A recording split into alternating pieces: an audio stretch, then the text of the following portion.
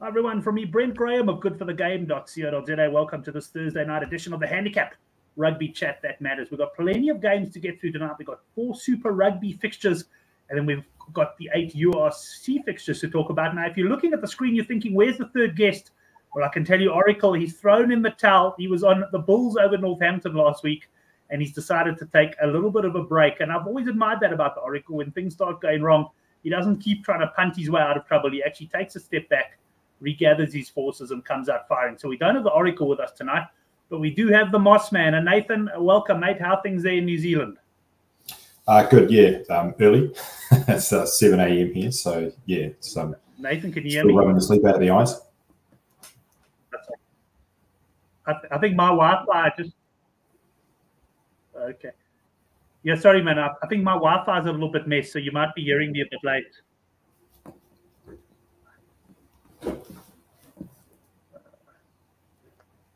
Nathan, can yeah, yeah, I can hear. I just want to see if you're still there.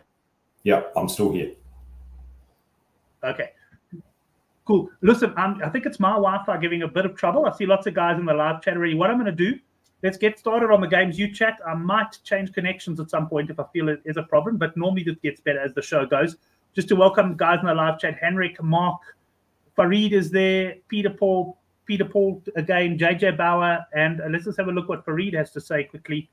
Yeah, he said, Hope you guys are well. Bumper weekend for rugby. Japan, US Super Rugby, URC, MLR, Women's Six Nations. Let's go. And Nathan nodding his head there. So, Nathan, let's get into the action. I'm going to start off with Super Rugby. Friday morning, South African time, Friday night, I guess, uh, New Zealand time. Uh, we've got the Drua up against the Hurricanes. Hurricanes unbeaten. And we've got the Drua here plus 10.5. And this handicap has been fairly stable all week, but the points line, and I know you pointed this out on the good for the. I, I, I thought it was you know you you were on the, the Blues game on the good for the game forum, but I think the yep. the points line has come in a bit here from I think an opening call of about sixty one point five. Yeah, the it's it, it's been relatively stable, but it has bounced around a bit um, between sort of ten and a half and nine and a half, and I've seen it probably oscillate between those two numbers maybe three or four times. Um, you know, over the last couple of days, so there there is a bit of indecision there. And and you can see where it comes from because the the obviously the Hurricanes are flying, um, but then on the flip side, you know you've got the the Drua and their record at home, and then in the mix you've got the fact that the Hurricanes are also resting a lot. So so there, my, my take on it is that uh, the Drua obviously they've, they've, they've had good teams come there before um, and be slightly under strength and, and lose. So um, you know we we saw the Hurricanes actually lost there last year. Um, Crusaders have obviously been there twice and lost. Um, you know, maybe not this year's Crusaders team, but definitely last year's. Um, you know, that was the eventual champions. So, so you, you know, you can't say that they um, they weren't a good team at that point in time. So, my my, my gut feel is that for the Drua, you know, that all they need to do is is kind of get within within ten. Like, I feel that they can do that. Like, I'm not sure that this is a game necessarily where the Canes are going to try to turn up there and, and go all out. Um, you know, I, I, sort of it could go either way. I mean, the, uh, last year we saw, as I said, saw the Canes go there and lose, saw the, the Crusaders go there and lose, but the Blues went there and, and won easily. So uh, you know, it's it's really up and down. The thing that other thing that gives me pause on this a little bit is the fact that it's it's in Suva and it's a night game. Um, so the you know that, that usual situation, and there were there were headlines during the week about Crusaders players having you know nearly having to go to hospital um, because of dehydration and these sorts of things. So um, that's not going to be a factor, uh, which I think also plays into the Canes. So uh, there's a, kind of a, a, there's a lot of, of pluses and minuses, I guess, and pros and cons on both sides, um, which gives me pause. I, I, have actually bet this um, myself. I did take the Drua when it was uh, plus 11 and a half, but I don't have it. It wasn't a big bet, and I don't have a huge amount of confidence in it. Yeah, I'm just having a look. I capped this game 11 and a half exactly. So also not a lot of confidence there. Might have a, a nibble of under points. I'm actually going away tomorrow. I will be down on my way down to, to Durban for a bit of a, a break. So yeah, I may not get uh, much further involved in this one. Uh, let's have a look then at the next game, and that is uh, the second game of uh, Friday morning South African time. We got the Reds here, minus five and a half against the Highlanders, and a points line of 57.5. This one, I think, opened minus seven and a half red, so a little bit of money for the for the Highlanders. it's actually opened a little bit higher than that. So it opened. Um, there was nine, mainly nine and a half, but I think you probably could have got ten and a half in places okay. as well. So um, it, it's coming a long way, and, and, quite rightly, I think. I think this is one uh, when the lines came out that a lot of people would have circled and said this looks a bit off, uh, given that at the time uh, the Reds they're missing Tate McDermott, um, missing uh, um, and I think Ero, I think, is another player that's out. So um, it does look a bit more of a makeshift team. And the, the Reds have been so up and down.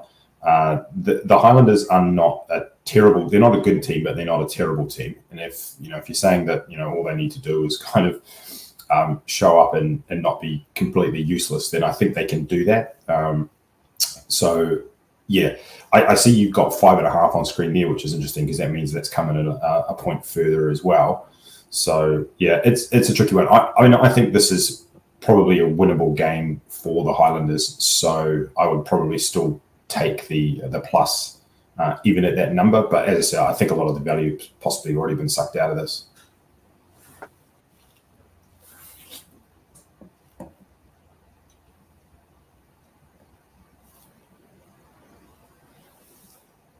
Do they uh, do they load shed uh, Wi-Fi? What I'm going to do is I'm going to bring you into the next game, Nathan, and I'm going to change connections because my Wi-Fi, which I pay a fortune for every month, is once again playing up here. Uh, and no this worries. game, I know you've got an opinion.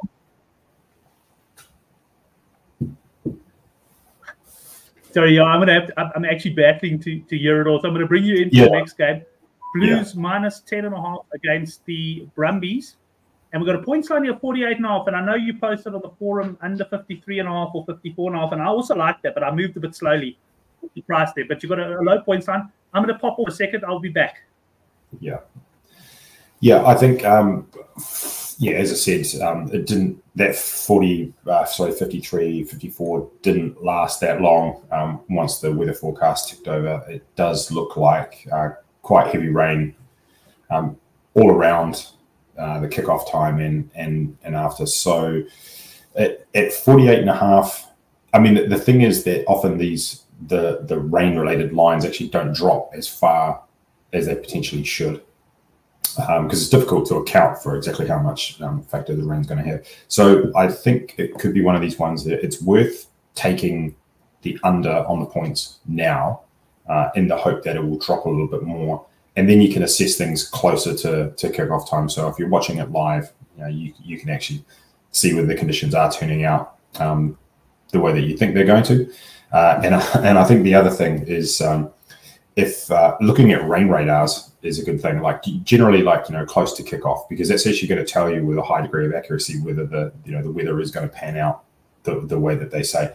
I, I sort of follow these, um, the, the forecast quite quite closely in that way. And um, you know, I've, I've seen instances in the past where the, the forecast will say you know heavy rain you know on a particular location, but you can go to the rain radar and you can actually see that that clump of rain you know clearly bypassing that city.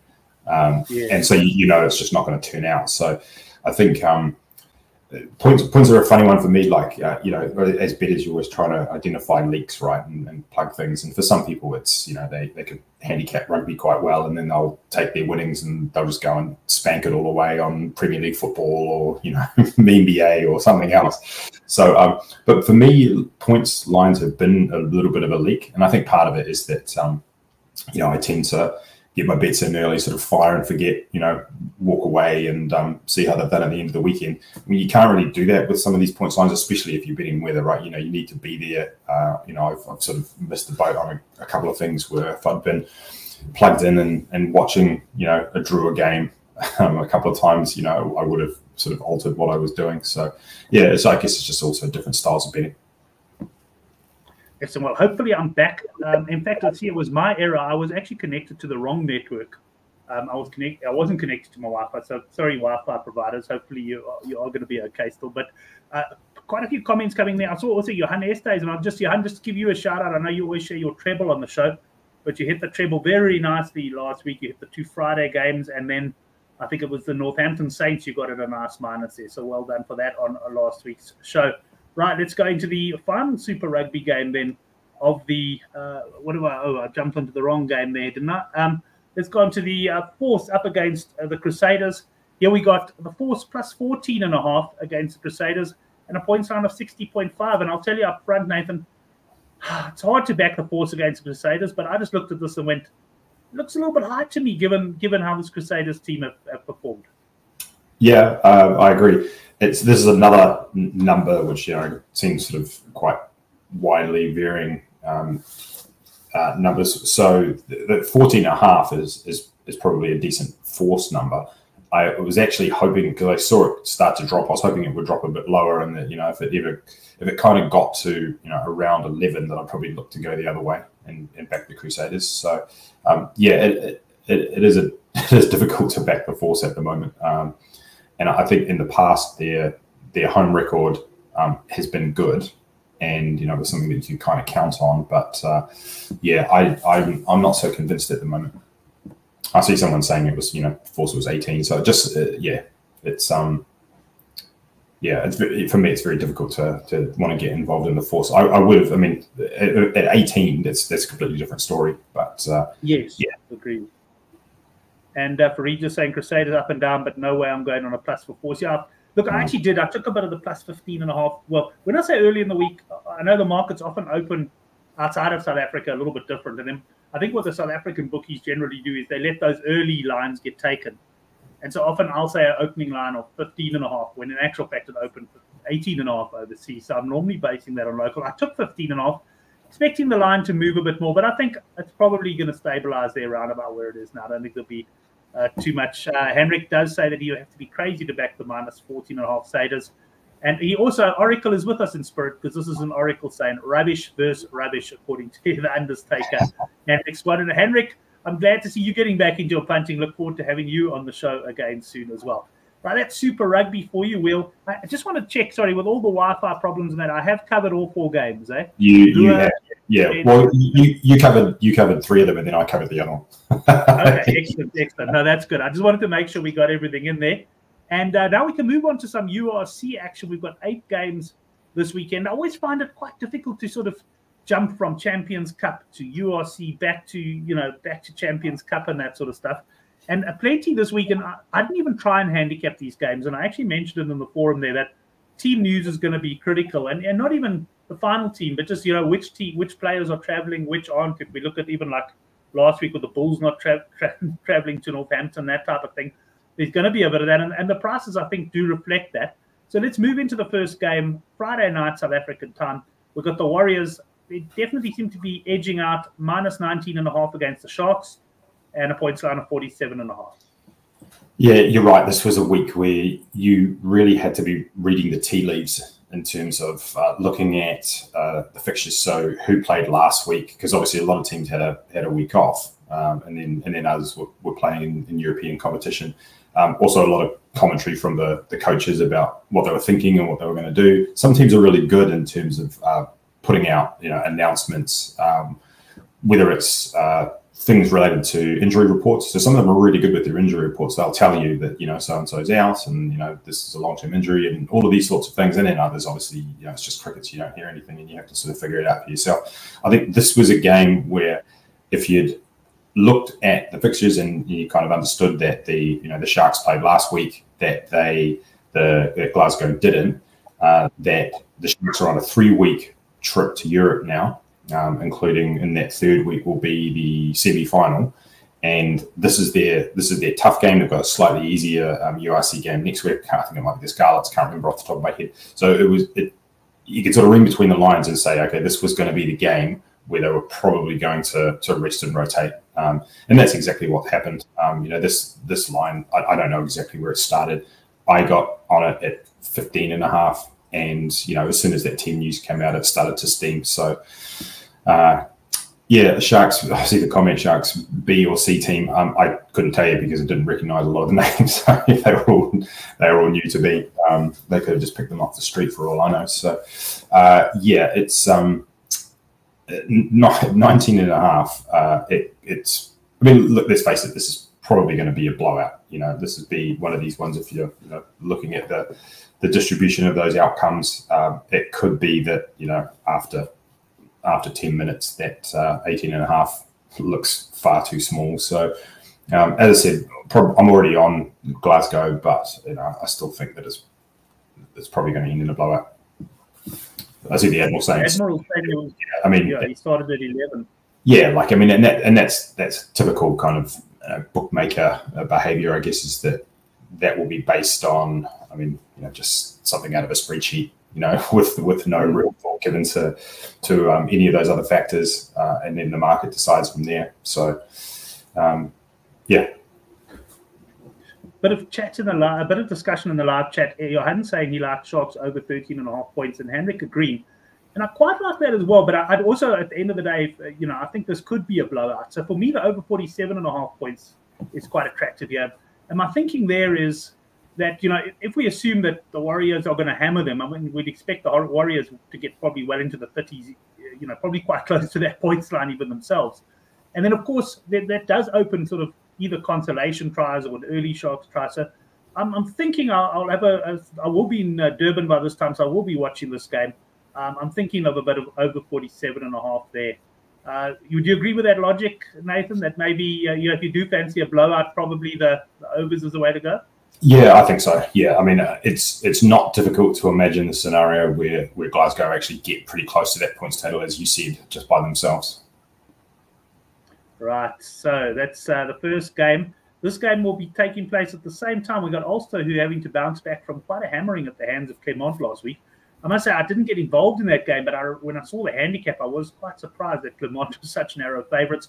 They're playing against Cardiff, and I just want to check my my lines here. I see uh, there was an opening call here of minus 14 and a half, so quite a lot of money for Cardiff, who will certainly be the fresher of the two sides, mate yeah, and and again, I think there was some there, there was news out there during the week that um, that Ulster were, were, going to risk players, and that's that's exactly what they've done. So it's um, it, in, in Cardiff, uh, from what I can see, pretty much full strength. So it, it, has come in a long way, and it's and it's coming to the point where right now it's uh, it's, it's not something I have a have a, a strong feeling for.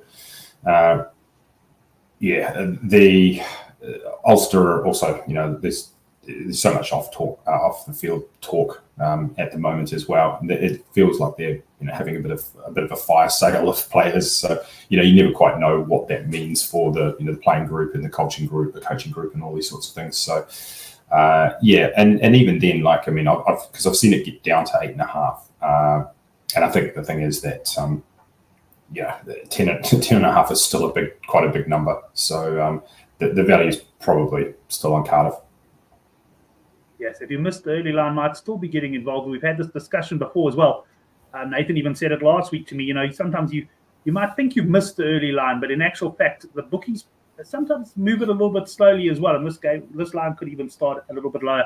A lot of confidence in the, live chat. Chris also joining us now and saying we'll be close. Cardiff for me. So Cardiff on the plus. This will probably make it into the newsletter accumulator if the line is still the same when I send that out probably in the morning, or I might have to wait until tomorrow night when I'm in Derbs. Right, we move on to Saturday's fixtures. Here we have Benetton uh, minus 13 and a half. This handicap opened minus 11 and a half when I looked at it in South Africa. So it has moved out slightly, but um, yeah, not, not too much movement over the last day or so. Yeah, th- so this is one I have bet. So uh, I got involved when, uh, with Benetton at minus 12 and a half. Uh, minus 13, yeah, it's probably, I mean, at this point, you know, do your best just to wait and, and see what happens with the with the team lists. Um, but yeah, as I said, like um, I I favoured Benetton early, and that's at this point that's still the way I'd lean. All right. Well, let's move into the next game. We're getting into the South African games now. Three in a row hosted in South Africa. The first game is the Lions minus one and a half against Leinster. Now, this game I did mention on the forum. I didn't want to price it up because I figured that Leinster would probably send uh, the second string side over. And and for that reason, there was some, I think, plus seven and a half Lions early in the week over in, in let's say, in the UK. And now they're starting as, as favourites. But yeah, that's a. I mean, I've seen this Leinster. Leinster got a tremendous amount of depth, and I've seen them actually do very well with this sort of second team, if you want to call it that. But then I know I think it was the Bulls last year gave them good hammering at at Loftus. This looks like a tricky encounter uh, on the line here. Yeah, I, th- I think that the team use is absolutely key here. So, as you said, the, the Leinster second team is actually still pretty good. Um, you know, they've got a huge squad, and um, stacked with internationals. So the those fringe international players, you know, they're, they're still really good. Um, I've seen sort of minus two and a half uh, on the Lions here. And uh, yeah, so I'm, I'm, waiting for the, the team news, but um, I'm kind of I'm, I'm, imagining that depending on what happens, that I'll, I'll be on Leinster. Right, and, and I just want to go.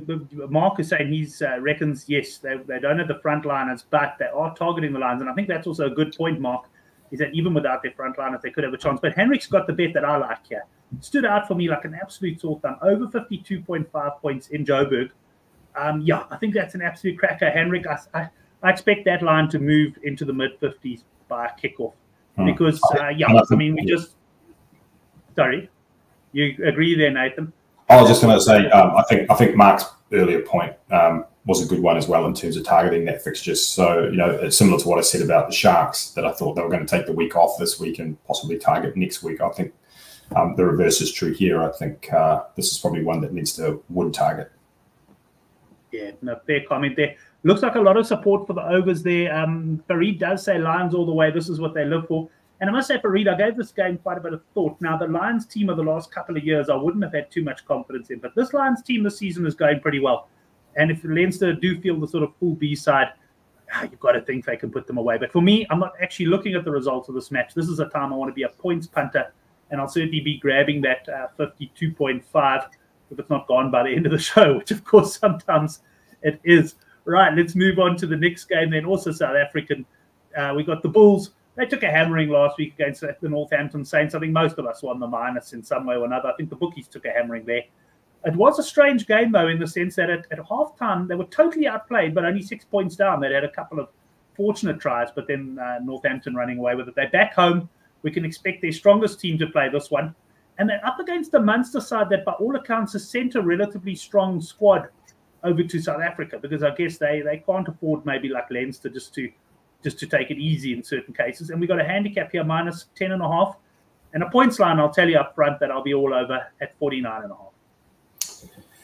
Yeah, so my understanding is that the, the Bulls will actually be missing a few as well, not not from resting, but I think they just have a few injuries and a possible suspension. Um, as you said, Munster assuming a strong team. Um, so I'll probably have a sneaky look at, at Munster here. You know, that's it, it's still a lot of points for a, a team that um, you know has a huge amount of pedigree and uh, you know we're getting down to the business end of the season, and I think this is probably where you know Munster kind of uh, um, make their money, um, you know, d- down at the pointy end. So yeah, I'll, I'll, sort of wait and see what happens with the teams, but at this point, um, yeah, I think I'm, i have some interest in Munster. But interested to see what the undertaker Henrik reckons on the points here. But looking at points at Loftus now, the Loftus surface tends not to be as reliable, if I can put it that way, as the Ellis Park surface. We obviously have had a bit of rain about in Joburg and thunderstorms, but I'm expecting probably pretty decent conditions for this one. I do think that 49 and a half is, is going to be the play. I'm not as confident as I am on the Lions Leinster game, but I do like over 49 and a half, and I'll probably go with that rather than uh, than have a look at, at, at the handicap. Chris coming in saying likes Munster to keep this close second half in particular. Yeah, Munster are one of those sides – they can somehow just always stay in the fight, and they tend to go quite well in South Africa as well. Right, the Bulls up against Munster. We are moving down the card rapidly. We've got the Stormers up against Ospreys. This handicap, and I'm quickly going to check my line. I, I didn't, I didn't price these, but this opened up here in South Africa minus 18 and a half. So just edged out slightly, but not a lot of movement on this one. But it's a big cap against the Ospreys. It, it is a big cap, yeah, and uh, you know, again, all comes down to the to team news and, and who the Ospreys have have sent or who they're going to roll out there. I haven't actually looked at who the Ospreys have up next, and as I said, that's been you know quite a, a key influence on on some of these um, handicaps this week. So we'll look. But again, I, think if the Ospreys gets out big enough, uh, they are a team that have been uh, been reasonably successful backing, similar to the Lions. Uh, so yeah, I, I I would probably be interested in the Ospreys if I can see a big enough number. Right, Henrik saying he likes Ospreys on the plus here and unders on total points. So yeah, this is a game. It'll be interesting to see. Also, one thing about Cape Town, you want to look at the wind as well. I didn't watch that game against La Rochelle, but wind definitely played a factor there.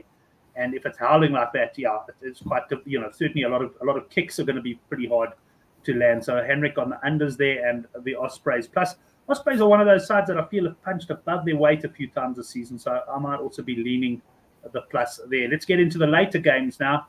We've got Connacht up against Zebre. Now, um, yeah, when this when the line I got early in the week, or not that I took, but that I that I noted was minus 16 and a half, and I see now minus 17 and a half against Zebre, the home team favourites. Yeah, I think I think Connacht is probably the right size. I, I know they're not playing particularly well, but I, I would be. I think uh, from memory they are having a few players come back. Um, some of the, the, the internationals and some of the I think long term injuries. So um, I, I, it's it's not um, a strong field, but I kind of think that maybe they've got a performance in them um, coming, and uh, this might be it. Yeah, certainly one of those games where I'm either thinking home team minus or no bet. I couldn't back uh, Zebre mm. on the plus here. I think it'd be too nerve wracking. Farid, on the other hand, is saying Zebre all the way. They will score against Connacht. So, yeah, we get people, takers on both sides of the fence. Just going back to the Stormers game, Johan saying Stormers 1 to 12. Yeah, certainly uh, could be a big runner there, Johan. I have to agree with you on that one.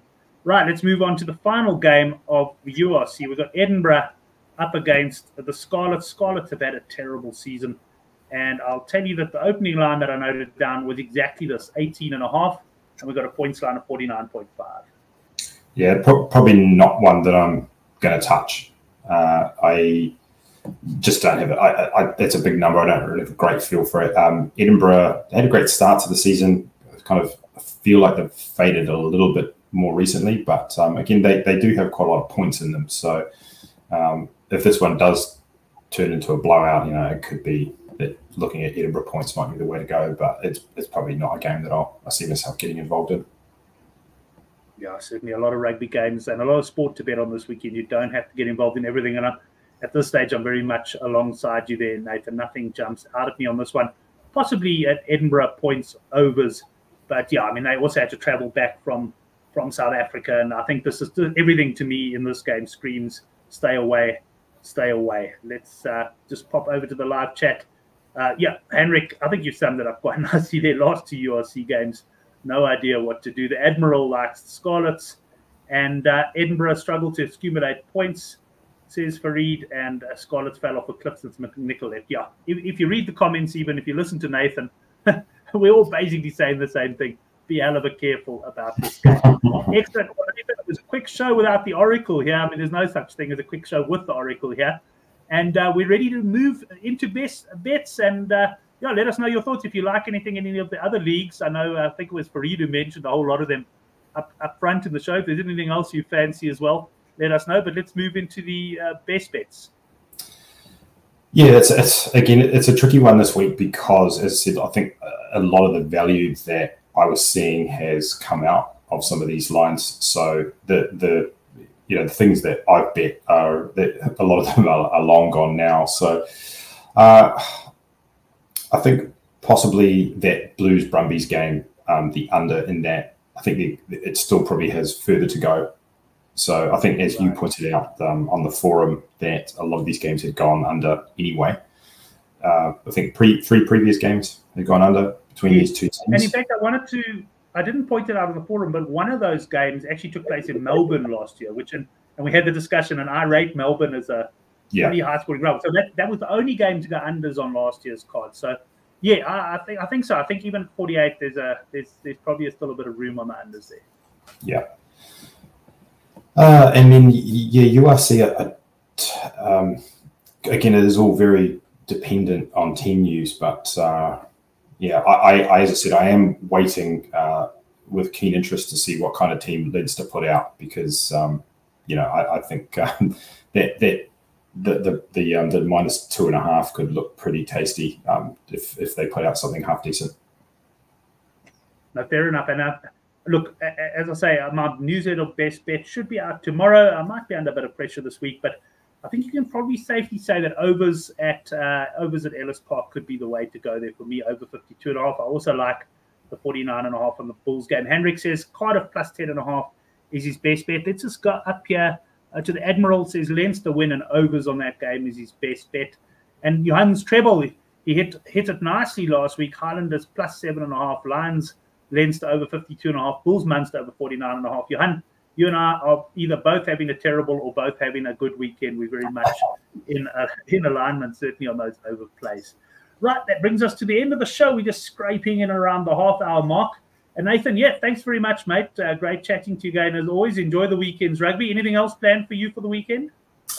Uh, not a whole lot at the moment, actually. No, I was I was sort of away out of town last week, so it's um, yeah, back home and um, probably just doing a bit of life admin. Excellent. Enjoy it. I'll be taking a few walks, hopefully along the uh, beachfront there in Ballito, where we're going to be staying for a few days, and then off to San Lameer. Pity I'm not a golfer. I played golf many years ago. There's some great golf there, but I'm going with my mother-in-law and sister-in-law as well. I can't see them on the golf course either. But thanks everyone, Nathan. Great to have you join us. Thanks to all the guys in the live chat, and we'll be back next week for the hand- handicap rugby chat that matters.